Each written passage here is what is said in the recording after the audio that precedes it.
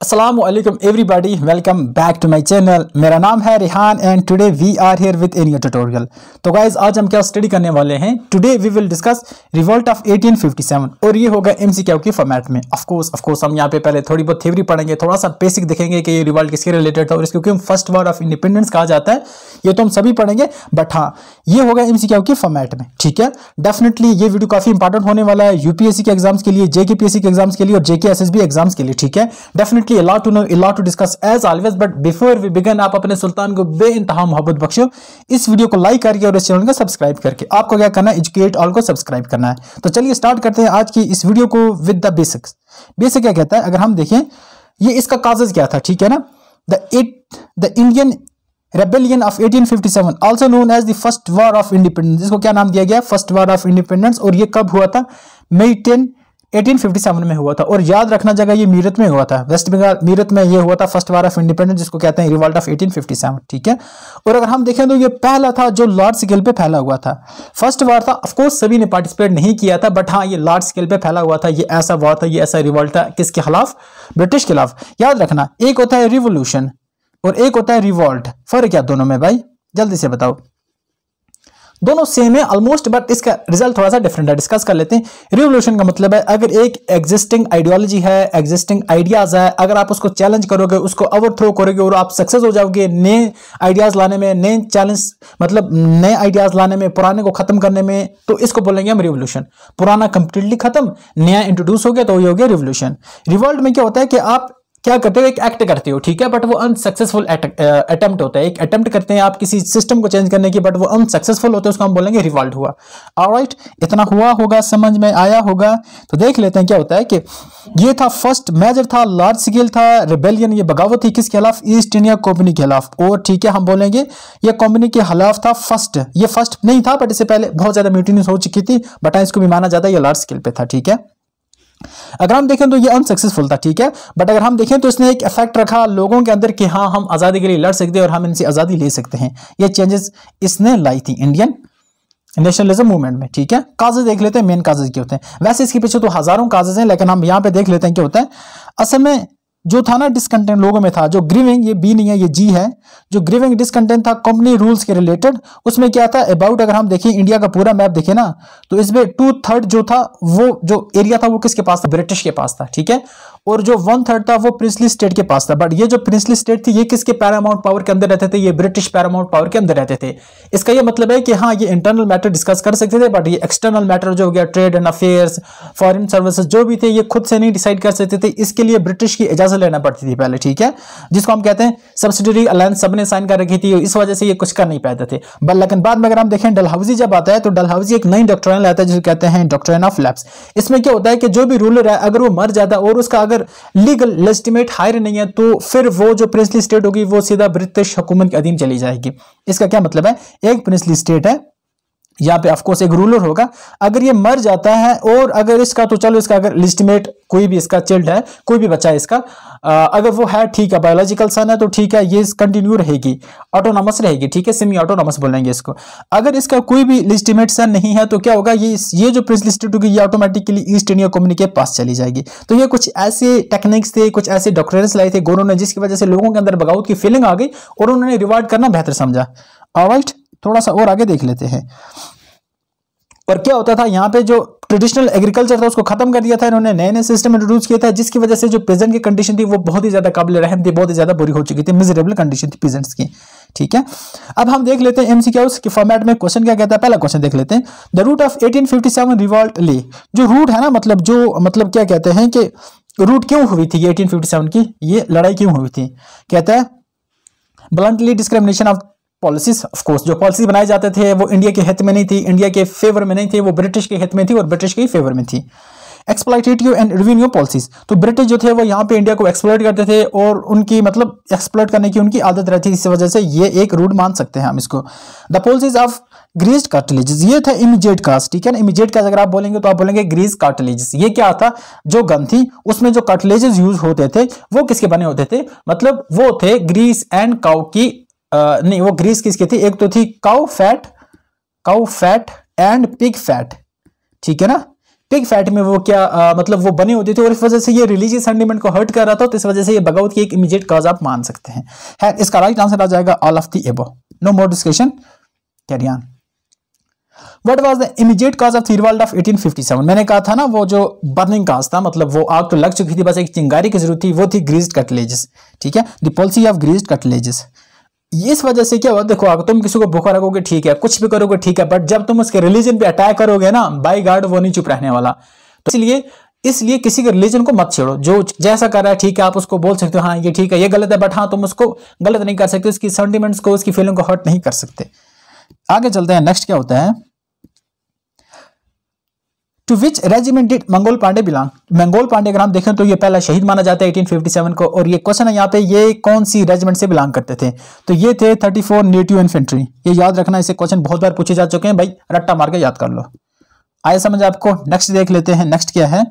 Who among the following leader of 1857 was the first to lay down her life his life ठीक है ना? His her life तो वो कौन सा पहला शहीद है जो 1857 में सबसे पहले उसने अपनी जान दी, उसने रिवॉल्ट किया, फिर उसके बदले में उसको फांसी पर लटका दिया गया कैपिटल पनिशमेंट मिली। तो वो कौन सी ऐसी अजीम हस्ती थी? तो उनका नाम क्या है भाई? उनका नाम है Mangal Pandey. He was the first martyr of 1857 I hope इतना समझ आ रहा होगा। आगे चलें। देखो क्या कहता है। The revolt of 1857 was started by ये स्टार्ट किसने, ये स्टार्ट किसने किया था? क्या बोलेंगे आप? जिमी सिपोज नहीं किया था जिम्मेदार नहीं किया था पिजर नहीं किया था या प्लांटेशन वर्कर नहीं किया था। अगर हम देखें तो ये स्टार्ट किया था, किसने? सिपोज नहीं किया था। हाँ बाद में लोगों ने ज्वाइन किया बट हाँ अगर देखें तो स्टार्ट करने वाले सिपाही थे, जो आर्मी के बंदे थे। Next question the revolt of 1857 had its beginning in भाई, ये कौन सी प्लेस में सबसे पहले शुरुआत हुआ था? प्लासी से शुरुआत हुआ था, मुझे तो ऐसे ही लगता है। मद्रास से हो सकता है, बॉम्बे से हो सकता है। बट अगर हम इसका राइट आंसर देखें तो यार मीरठ से, ठीक है ना? मीरठ से। मीरुत मीरुत मेरठ नहीं मीरुत मेरठ के नवाब who was the governor general during the time of sepoy mutiny जब ये स्पॉय म्यूटिनी हुई थी तो गवर्नर जनरल कौन था? ठीक है, आपको पता है कि स्पॉय म्यूटिनी अगर हम देखें तो मिजेट कास्ट था जो डल हाउसी ला डल हाउसी है ना? ऑफकोर्स उसका फादर ऑफ़ मॉडर्न इंडिया कहा जाता है। मॉडर्न इंडिया का फादर उसको माना जाता है। उसने बहुत काम किया। उसने पोस्टल में काम किया। उसने रेलवे में काम किया। उसने और क्या मतलब एजुकेशन में उसने बहुत काम किया। बहुत ज़्यादा उसने यहाँ कंट्रीब्यूशन की इंडिया के लिए बट वो अपनी कंपनी को ज़्यादा क्या बनाना चाहता था? प्रस्परस बनाना चाहता था अपनी कंपनी को। अपनी कंट्री के लिए वो ज़्यादा करना चाहता था, ठीक है? और ये मानो कि जो सबसे यंगेस्ट वाइस रहता he was Lord Dalhousie याद रखना। एंड इसका यही मिशन था जब ये छोटा था ना, अब हमारे बच्चे क्या कहते हैं, जब छोटे हैं, कोई कहता है, मैं पायलट बनूँगा, कोई कहता है, मैं डॉक्टर बनूँगा, कोई कहता है, मैं इंजीनियर बनूँगा। डलहाउजी की बात करें भाई लॉर्ड डलहाउजी की बात करें, जब ये छोटा था ना स्कूल में कहता था, मुझे कुछ नहीं बनना, मुझे इंडिया में जाके वहाँ पे गवर्नर बनना है। ठीक है ना? ये ये कहता था, मुझे इंडिया में जाके गवर्नर बनना है। तो इसका ये बचपन था। इसलिए एट दी अर्ली एज में क्या हो गया, ये इंडिया में आएगा और यहाँ पे इसने ठीक, मुझे लगता है आठ से दस साल तक इसने हुकूमत कर रखी है। आठ साल तो आप मान के चलो, इसने एट ईयर तक यहाँ पे हुकूमत कर रखी है। और ये यहाँ से जाता है नाइनटीन में। ब्लंडर ब्लंडर हो गया भाई। एटीन 56 में जाता है फिर इसके बाद आता है लॉर्ड कैनिंग आ जाता है। हम्म, मैं कैनिंग ही बोलूँगा ठीक है लॉर्ड वर्ड तो छोड़ो। ये आता है 1856 से लेकर 1856 से लेकर 1862 तक। ये इतना टाइम यहाँ पे रहता है ठीक है? और ये लास्ट गवर्नर जनरल था और फ़र्स्ट वाइस रे था। तो यहाँ पे कौन कहते हैं? तो लॉर्ड कैनिंग इसका राइट आंसर आ जाएगा। आगे देख लेते हैं थोड़ा सा 1856 से 1862 तक और इसकी वजह से इंडियन एक्ट ऑफ़ 1852 पास हुआ और यहाँ पे क्या आता है? वाइसरे जो था, उसकी वो बन गया एंड जो, क्या कहते थे, पहले गवर्नर जनरल चेंज हो गया किसकी वजह से? गवर्नर जनरल जो था, वो चेंज हो गया, क्या बन गया? वाइस बन गया, ठीक है? और सेक्रेटरी ऑफ़ स्टेट जो इंडिया का मंत्रालय देखता था इंडिया के रिलेटेड देखता था, वो वो बनाया गया कहा? ब्रिटेन के अंदर। और इसका जो लीडर था, जो उसका हेड था, वो एक कैबिनेट मिनिस्टर था ब्रिटिश पार्लियामेंट के अंदर, याद रखना, ठीक है? याद रखना, ये पॉइंट इंपॉर्टेंट है Lord Canning also serve as the first vice of India ये मेरा इंडिया ठीक है? Who who of the following was the adopted son of last Peshwa Bajirao second Bajirao second का कौन सा अडॉप्टेड सन था? पता है ना अडॉप्टेड सन क्या होता है? लिजिटिमेट हायर क्या होता है? बायोलॉजिकल सन जो हमें पता है, एक होता है अडॉप्टेड सन कि अपना लीगल वारस नहीं है। हम क्या करते हैं, कोई और बच्चा अडॉप्ट कर लेते हैं, ताकि हमारी जो संपत्ति है, हमारी जो प्रॉपर्टी है, वो उसका मालिक बने और उसको कंटिन्यू करे, हमारी लेनीज को कंटिन्यू करे। ऐसा माना जाता है, ठीक है? तो इसका राइट आंसर क्या आ जाएगा? जल्दी से बताओ। नाना साहब राइट आगे चलें, देखते हैं नेक्स्ट क्वेश्चन क्या कहते हैं? Which of the following state was the first to be annexed by the doctrine of lapse doctrine of lapse के तहत कौन सी पहली स्टेट थी? पिछली स्टेट थी जिसको हड़प लिया गया था? किसने हड़पा था ये भाई? ये हड़पा था आ, इसका राइट आंसर आ जाएगा सतारा आ जाएगा बट हड़पने वाला बंदा था डलहाउसी हाँ वो काफ़ी बदमाश बंदा था यार उसने बहुत ज़्यादा टेरिटरी कैप्चर कर ली थी अपने टाइम में। द टोक्राइन ऑफ़ ये इंट्रोड्यूस डल हाउसे ने किया था एंड इसने क्या किया था? आपको पता है क्या क्या हुआ था? No more discussion okay the ruler of which of one of the following state was removed from the power ये गजब भेजती है मालिक। एक बंदे को पावर से हटा दिया, क्या क्या करके उसको चलाना नहीं आता मतलब एक प्रिंसली राजा था, उसको हटा दिया हाँ और कोई बहाना ना मिला, वहाँ पे उसका लेजिटिमेट सन था, जिसको कदीर था। आई थिंक उसका नाम कदीर था। क्या ए डी आई आर ठीक है। कदीर था। हाँ उसके ऐसे ही ना था कुछ। कदीर था उसका नाम। ठीक है उसका बेटा था बट क्या कहा? गौरव को वो स्टेट चाहिए थी। डल हाउसी ने कहा था कि ये जो अवध है ना भाई ये अवध लाइक ए चेरी, जो आज ना तो कल हमारे गोद में आग गिरेगा। तो देखो, जो अवध का गवर्नर था, उसका, जो अवध का गवर्नर था, वो का नवाब था ना? वाजुद अली शाह, उसको रिमूव कर दिया गया, ठीक है?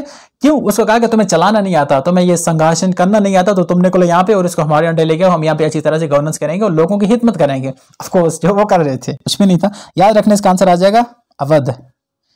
At which of the following place was revolt led by the Kunwar Singh Kunwar Singh ने कौन सी जगह पे भाई ये रिवॉल्ट लेड किया था?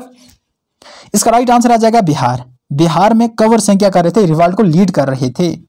Next question in which country was the Bahadur Shah the last Mughal ruler exile by British of the end of the world war of independence तो कौन सी कंट्री में इनको एग्जाइल किया गया और वहीं पे इनकी डेथ हो जाती है? तो ये था नेपाल? नहीं। अफ़गानिस्तान भी नहीं, कोई भी नहीं भाई। यहाँ पे सीधा म्यांमार बर्मा जिसे उस जमाने में कहते थे। ठीक है? याद रखना, बुद्धिस्ट काउंसिल फिफ्थ और बुद्धिस्ट काउंसिल सिक्स ये दोनों बर्मा में हुई हैं। आपको चार तक याद है ना, जो लास्ट कश्मीर में हुई थी, कंडलवाना में, जिसको किया था कनिष्का ने अटेम्प्ट किया था, ठीक है? बट याद रखना फिफ्थ और सिक्स भी हो चुकी है, ये ऑफकोर्स लार्ज स्केल पे नहीं थी और ये हुई थी म्यांमार के अंदर। क्वेश्चन क्या कहता है? Who call the revolt of 1857 as the first war of independence किसने कहा जो रिवॉल्ट ऑफ़ 1857 है, इसको फ़र्स्ट वार ऑफ़ इंडिपेंडेंस कहते हैं? ठीक है? तो ये कहा था वी सवर्कर ने। मूविंग टुवर्ड नेक्स्ट क्वेश्चन क्या कहता है? The history the war of Indian independence book written भाई ये भी सेम है वी डी सवर्कर भैया ने ये किया था सब कुछ।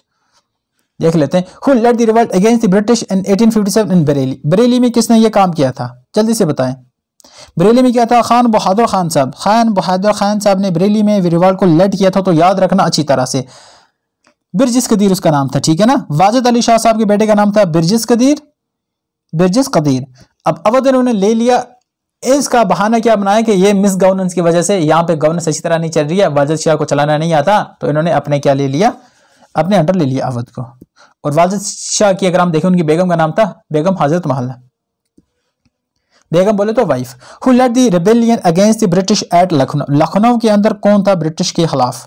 जीनत महल टांटा टोपे बेगम हज़रत महल एंड बेगम हज़रत महल याद रखना बेगम हज़रत महल लास्ट पे इनको कैप्चर नहीं किया गया ये नेपाल की तरफ़ चली गई थी नेपाल की तरफ़ ये चली गई थी एग्जाइल एज एन एग्जाइल लेने के लिए इंपॉर्टेंट लीडर और एसोसिएट्स देख लेते हैं ठीक है ना बारकपुर ऑफकोर्स मुगल पांडे की वजह से स्टार्ट होता है दिल्ली में था बहादुर शाह एंड जनरल बख्त खान ये थे ठीक है लखनऊ में था बेगम हज़रत महल अभी हमने पढ़ा झांसी की रानी लक्ष्मी बाई और बिहार में था कंवर सिंह, ठीक है? बरेली में था खान बहादुर खान साहब, ग्वालियर में था टांटिया टोपे, अहमदाबाद एंड बनारस में था मौलवी लियाकत अली एंड कानपुर में था नाना साहब, राहु साहब निफ नाना साहब टांटिया टोपे, अहमदुल्ला खां, ये नाना साहब के एडवाइजर थे।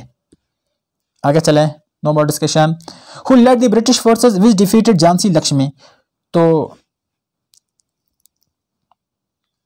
झांसी लक्ष्मीबाई ठीक है ना? झांसी की जो लक्ष्मीबाई थी, उनको किसने हराया था? ठीक है, ये कुछ इस तरह का क्वेश्चन है। थोड़ा सा वोटिंग में आगे पीछे हो गए बट याद रखने इसका राइट आंसर आ जाएगा हुज रोज हुज रोज थे, उन्होंने क्या किया था? लक्ष्मीबाई को क्या हराया था मतलब? Which of the following places was the Rani of Jhansi Lakshmibai defeated finally by the British तो कहाँ पे उनको हराया गया था? तो इसका राइट आंसर बताएँ। कोता की सराय कोता की सराय यहाँ पे उनको फाइनली डिफीट कर दिया गया था। She was a great lady of course no doubt and huge respect for her sir Hugh Rose describe women whom as अच्छा ये जो थे ना ह्यूज रोज जिसने एक को कहा था the best and the best military leader of the rebel इन्होंने किसको कहा था? इन्होंने लक्ष्मी बाई को कहा था, ठीक है ना? और उसने कहा था, मुझे हल्का सा याद है, उसने कहा था there is the women who is the only among the crowd कुछ इसने कहा था, यहाँ पे वो औरत लेटी हुई है, वो औरत उसकी मतलब मर के यहाँ पे पड़ी हुई है। जो बहुत ही ज़्यादा बहादुर, जो मतलब मेन में से सिर्फ़ इतनी ज़्यादा बहादुर थी कि उसको मेन कंसिडर किया जा सकता है। इतनी ज़्यादा वो ताकतवर थी। कुछ ऐसा माफ़ करना, ज़ुबान ऊपर नीचे हो जाती है। क्वेश्चन क्या है? Who was the prime minister of British at the time of 1857 revolution revolt जब होता है 1857 में, तब प्राइम मिनिस्टर कौन था? जल्दी से बताएँ। इसका नाम था लॉर्ड पॉमस्टर्न ये इसका राइट आंसर आ जाएगा। आगे क्वेश्चन देख लेते हैं। Which of the following commission is related to the reorganization of the Indian army after the suppression of the revolt of 1857?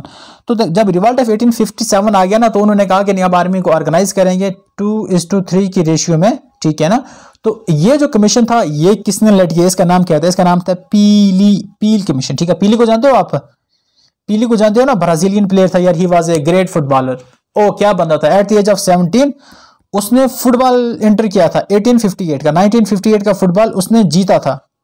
मुझे ऐसा लग रहा 1958 का फुटबॉल जीता था और लगातार ऐसा फ़र्स्ट प्लेयर अपीली जिसने चार तीन फुटबॉल जीते हैं, ठीक है ना? एंड अगर इसके फादर की बात करें, उसका फादर वो ग्रेट बंदा था जिसने एक मैच में पाँच गोल किए एक बंदे ने। है उसने अपने पापा के रिकॉर्ड नहीं तोड़ पाया था बट पील कमीशन याद रखना, पील कमीशन लगाया गया था ताकि आर्मी को रीऑर्गेनाइज किया जाए 1857 के बाद। आई होप इतना क्लियर होगा। आगे चलें, थोड़ा सा मज़े से पढ़ते हैं ताकि बोरिंग ना बने कुछ भी। What was the main reason for the failure of the revolt of 1857 भाई क्यों फेल हो गया था। एक ही आंसर लेगा lack of any common planning and central organisation देखो प्लानिंग नहीं थी अच्छी तरह से ऑर्गेनाइजेशन सेंट्रल नहीं थी, अच्छी तरह से मैनेज नहीं था, इस वजह से ये फेल हो जाता है। क्वेश्चन क्या कहता है? Which one of the following area was not affected by revolt of 1857 कौन सा एरिया था जो अफेक्ट ही नहीं हो पाया? ठीक है, आप बताएँ। इसका राइट आंसर आ जाएगा चित्तौड़। यहाँ पे भी रिवल्ट हुआ, यहाँ पे भी लखनऊ में भी हुआ तो चित्तौड़ एक ऐसा जगह था, चित्तौड़ जहाँ पे ये इफ़ेक्ट ना हो सका एंड वहाँ पे इसका चिंगारी ना पहुँच सकी। Many Indian king help at the British government during the revolt of 1857 which of the following did not help question ये कहता है 1857 होता है, ठीक है भाई? अब पता गजब की बात क्या है यहाँ पे? हम इंडियन लड़ रहे हैं ब्रिटिश को यहाँ से भगाने के लिए। एंड काउंटर पार्ट इसका क्या है कि कुछ इंडियन हैं जो ब्रिटिश की हेल्प कर रहे हैं कि उनको यहाँ पे रखने में। हाँ? गजब भेजती है मालिक हम कुछ ऐसे इंडियन हैं जिन्होंने अपनी लाइफ सेक्रीफाई कर दी कि ब्रिटिश को यहाँ से भगाओ दफ़ा करो, इनको निकालो। और कुछ और इंडियन ऐसे हैं जिन्होंने क्या किया कि नहीं ब्रिटिश की हेल्प की क्या ताकि वो यहीं पे रहें और फर्दर शासन करें। इनमें से कौन थे? ऑफकोर्स किंग ऑफ़ कश्मीर ने ब्रिटिश की हेल्प की। किंग ऑफ़ मेवाद ने ब्रिटिश की हेल्प की या नहीं की? हाँ इसने नहीं की भाई। सिख ने भी की आई थिंक सो एंड सेंधियंस ने भी की। सेंधियाज और ग्वालियर ने भी की ब्रिटिश की हेल्प की। इसका राइट आंसर आ जाएगा option C next question where is the tomb of Bahadur Shah Zafar situated देखो, ये जो आखिरी किंग था ना, ये जो बहादुर शाह ज़फ़र द सेकंड थे, इनको, इनका आखिरी आराम का मकबरा टोम कहाँ पे है? तो इसका राइट आंसर आ जाएगा। सब मुगल यहीं पे हैं। सब मुगल कोई आगरा में है, कोई कंधार में है, कोई न्यू दिल्ली में है, लेकिन ये बेचारे रंगून में है। मीलों दूर अपनी जन्मभूमि से। Who is author of the book the first Indian war of independence 1857 to 1859 तो ये बुक किसने लिखी थी? भाई, जो बताएगा ना, मान जाऊँगा। इसका राइट आंसर आ जाएगा A Karl Marx and the final question for you question क्या क्वेश्चन रीड कर लेते हैं. ठीक है? Who was the governor general of India joining the revolt of 1857 of course मैंने अच्छी तरह से पढ़ा इसका टाइम पीरियड बता देता हूँ। 1856 से 1862 तक इसका टाइम पीरियड आता है। आप इसका नाम बताएँ तो इसका नाम आप मुझे कमेंट सेक्शन में बताएँगे। देखो भाई, क्या चल रहा है, आप कमेंट नहीं करते। आंसर एटलीस्ट कमेंट में लिख दिया करो और हाँ हमें सजेशन दिया करो कि हम कौन सा नेक्स्ट टॉपिक लाएँ। जब आप सजेशन देते हो तो हमें मोटिवेशन मिलती है। हम नए नए टॉपिक लाते हैं वीडियो को ज़रूर लाके लाइक करें, अपने फ्रेंड के साथ ज़रूर शेयर करें और हमारे चैनल को सब्सक्राइब कर तो बनता है। ठीक है? तो मिलते हैं और वीडियो में, तब तक के लिए अल्लाह हाफिज हैव थैंक यू you.